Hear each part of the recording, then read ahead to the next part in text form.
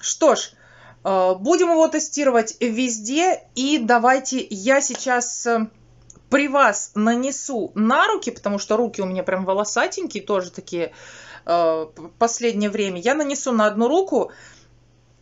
Смотрите, он наносится я его уже взболтала. То есть это действительно вот такой вот спрейчик. Вот, нанесли его.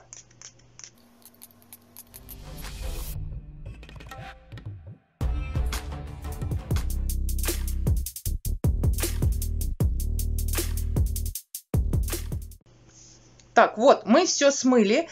И единственное, я заметила, у меня остались здесь два волоска. Я даже не знаю, как показать. Но у меня здесь родинка. У родинок всегда э, такие жесткие достаточно волосы растут. Но вот, кстати, ногтем я его откусила. То есть он, э, ну, разъелся.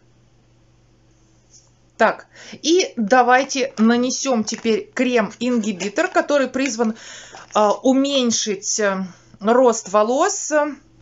Плюс здесь у нас, смотрите, э, на первых местах вода, бутиленгликоль, э, экстракт э, гамамелиса.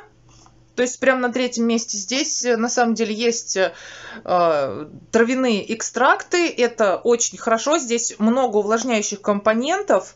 Но мне, в принципе, вот одного нажатия хватит вполне на руку. То есть у нас сразу э, и хорошее идет увлажнение. Но всегда после депиляции нужно обязательно намазать с каким-нибудь кремом, чтобы э, кожа не теряла влагу.